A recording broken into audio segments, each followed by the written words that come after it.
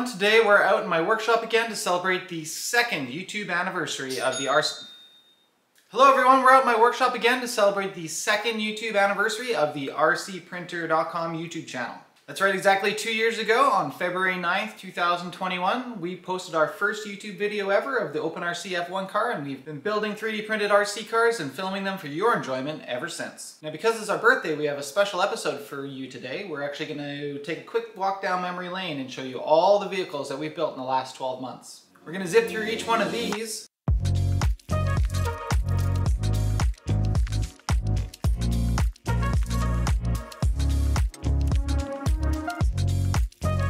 say a few quick words about each, what we liked, what we didn't like, if we added any modifications, and what maybe some improvements would be for the future. So without further ado, let's get to it.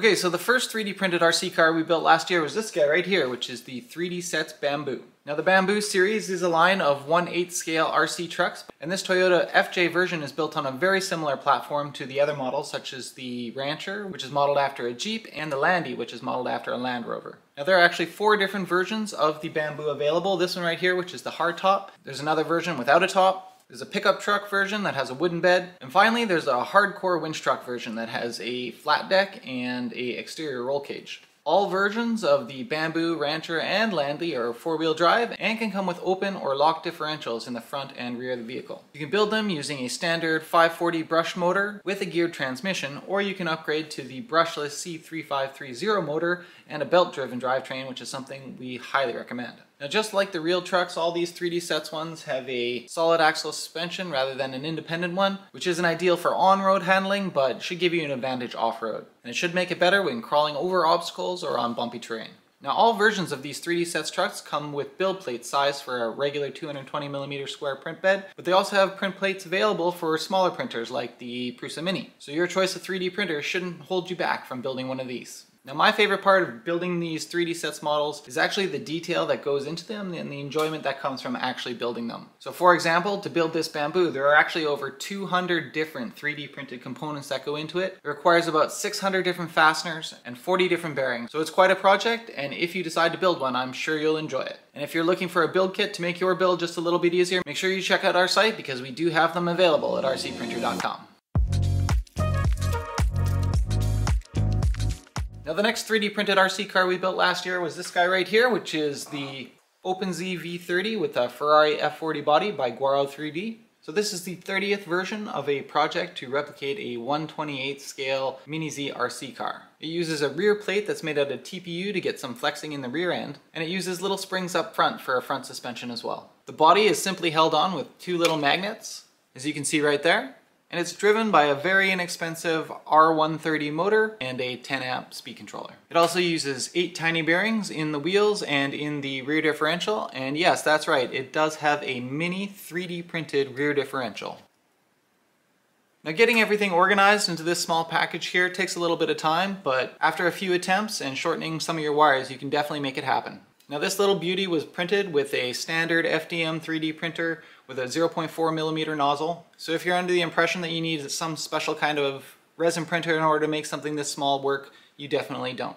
And if you're looking for a nice finish on your body, this was just done with some simple spray paint and primer, with some simple masking of the details and paintbrush to finish off some of the smaller details as well. Now in terms of performance, uh, it does use 3D printed tires and this really cheap motor here um, I think I got like 10 of them for $10 from China, so it doesn't perform super well, but if you upgraded the electronics in it and put some uh, decent rubber tires on it, it would go pretty fast.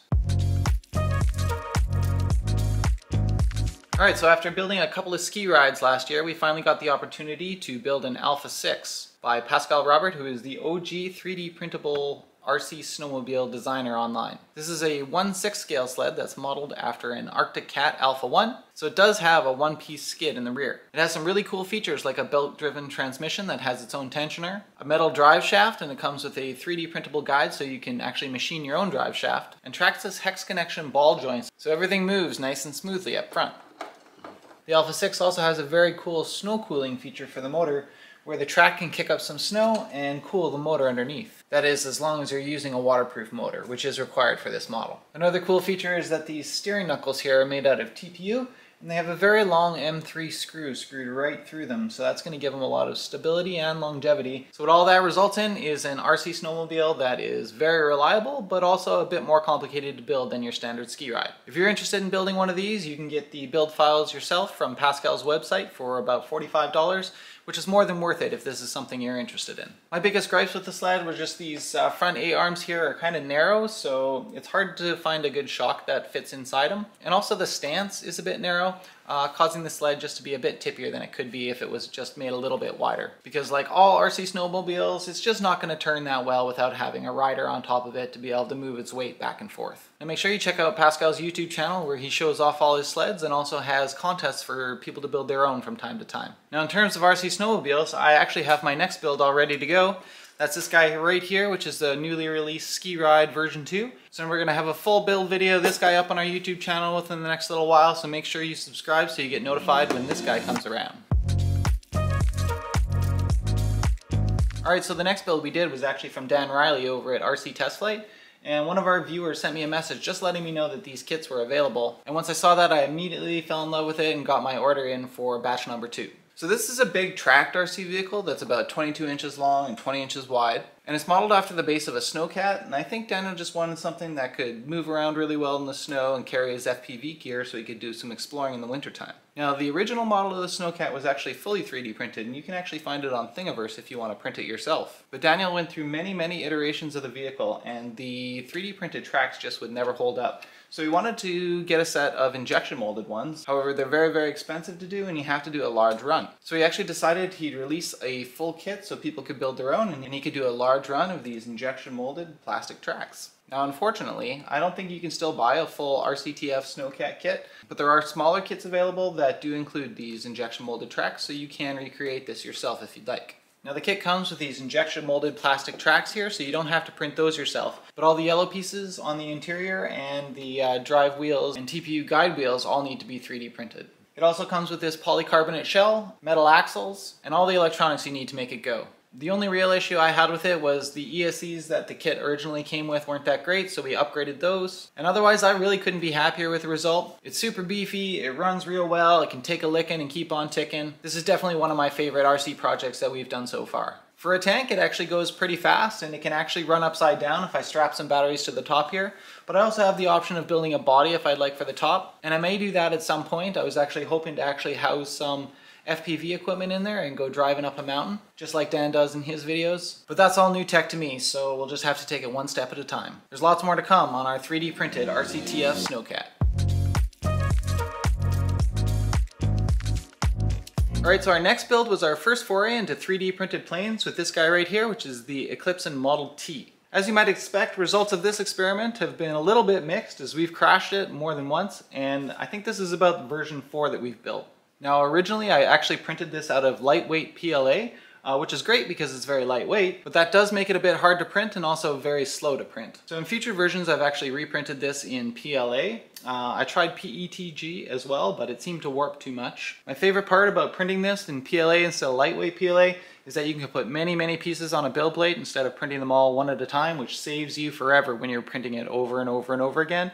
However, I do realize that with lightweight PLA, you're gonna get a plane that flies a lot better in the end. Also, lightweight PLA does not hold up well in a crash, and I've been crashing a lot. This particular plane seems to fly pretty well for a minute or two, and then it starts to do loop-de-loops and I can't get it under control and now I'm a terrible pilot so that's probably part of it but I think there's also something happening with the center of gravity where weights may be shifting backwards and causing that to happen.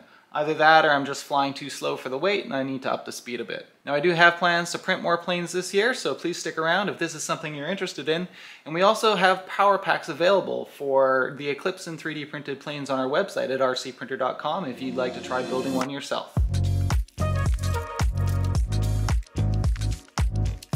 All right, so our next build is this 3D printed car hauler trailer from 3D Sets.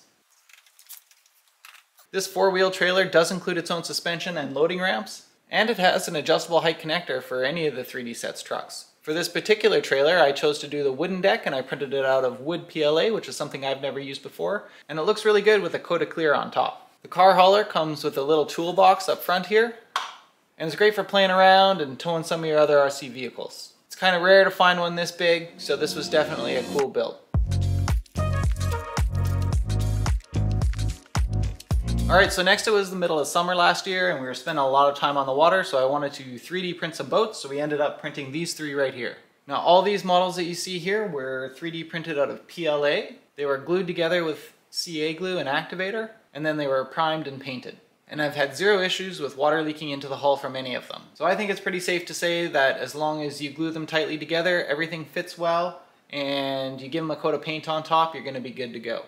First we have this RC jet boat by designer Bashtech. This boat has a 3D printed impeller in here and a 3D printed jet drive sticking out the back. It uses a homemade 4mm drive shaft with some 4mm inside dimension bearings. Currently I'm running a D3542 Outrunner motor in there with no water cooling and that's one of the issues I've had with this is that it does require water cooling pretty much no matter what motor I seem to put in it. So I think next year I'll probably switch to a 540 Inrunner motor and a water jacket on the outside of that. This guy runs really great. He's super fast and fun to drive. You don't have to worry about the prop catching on anything because there's no prop sticking out the bottom. And it turns super quick, turns on a dime.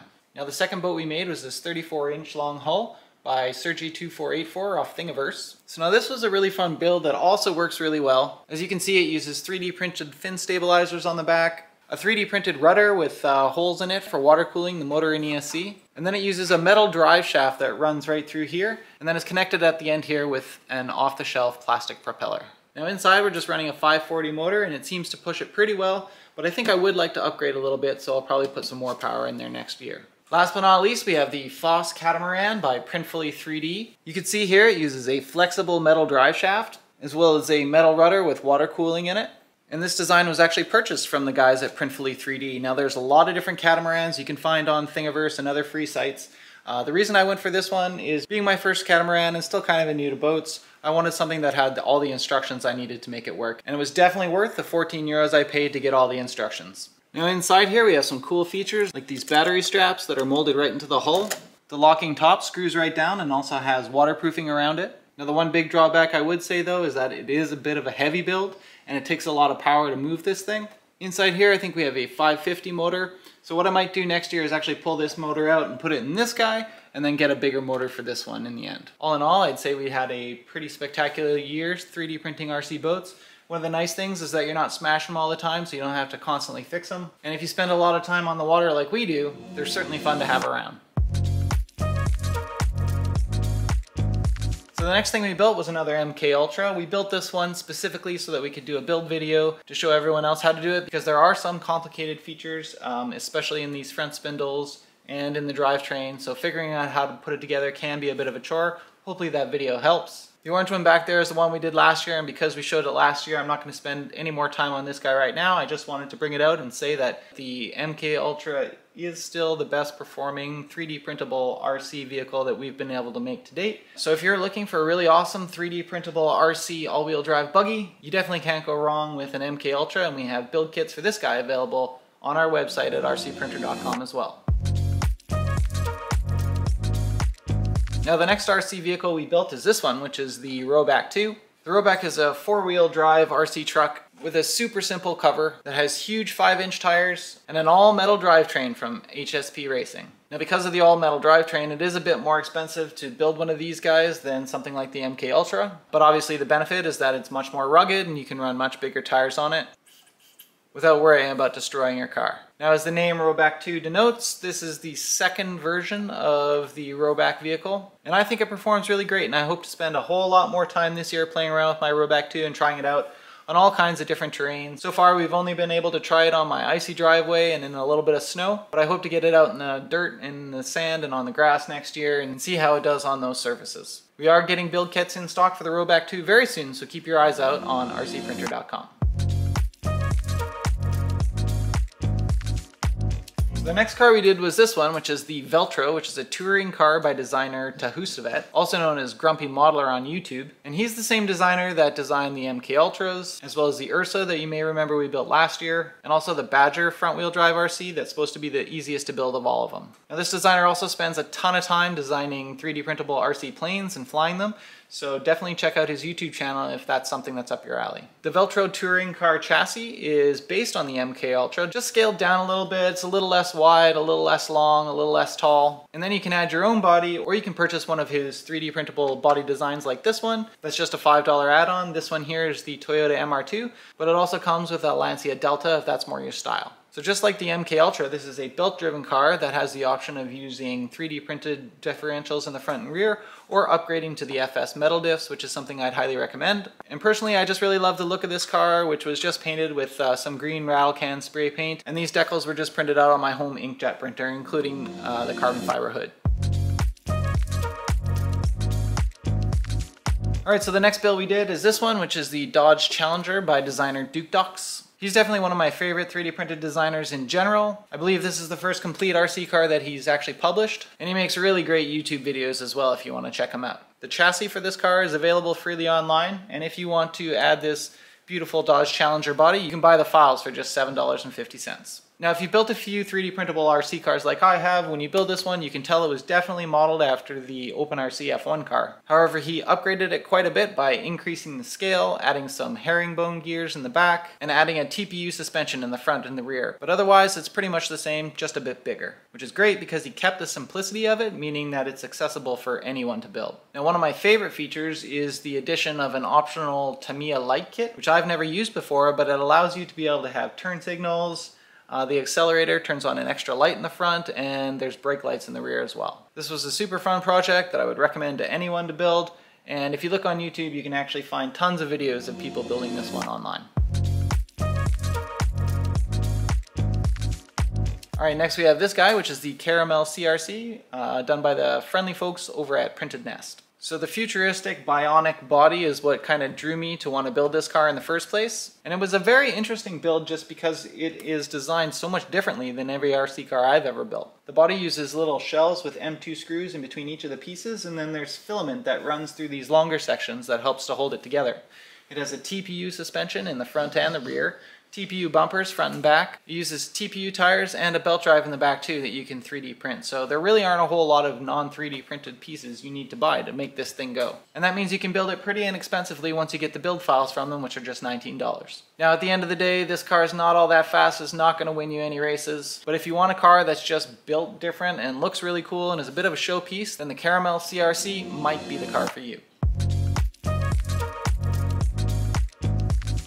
Alright, finally the wait is over. The Tarmo 5 has arrived. 3D designer Chris from Engineering Nonsense has released a all new version of the Tarmo series and it uses zero of the same 3D printed parts from the old version. This is a rear-wheel drive truck with a lock differential, whereas the previous version, the Tarmo 4, was a four-wheel drive car with an open front differential. Now just like the previous cars in the Tarmo series, it uses really beefy parts and a D3542 Outrunner motor to drive the model, which gives it a ton of power. Now I do like four-wheel drive vehicles, but because of the simpler drivetrain, we can actually run much larger tires on the Tarmo 5 than we were able to on the Tarmo 4. And that kind of makes up for it a bit, but also it's it's going to be way, way more reliable than the predecessor. Some of the cool new features that were added include these TPU torque tamper drive shafts, 3D printed CV joints top and bottom. There's no body unfortunately, just like the Tarmo 4, but it does have this really cool space in here for you to put your batteries and just overall, it's a very unique design. There's long 3mm rods that run right through the vehicle, giving it added stability, and there's TPU plates in between all the chassis pieces. And those are used as the connection points for your A-arms, and that's going to give those connection points a lot more durability. It's also got a nice big TPU bumper here for good measure. Overall, this is a super fun car that still drives really fast and is going to perform really well, but it's going to be a lot more reliable than the previous version. We do have build kits available already for the Tarmo 5 on our website at rcprinter.com, so make sure you check those out if you want to build one of these, because it's going to save you a lot of money if you don't try and source all those individual fasteners and metal parts yourself. And that's it, that's what we've been up to over the last 12 months. I really look forward to playing around with you guys through the rest of 2023 and into 2024. We're actually almost done building our next model right here, which as you can see is massive, so let me know down in the comments if you think you know what this next one is.